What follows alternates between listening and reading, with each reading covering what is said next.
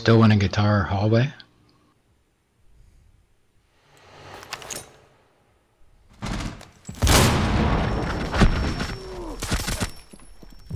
That was a sick play, dude. Nice.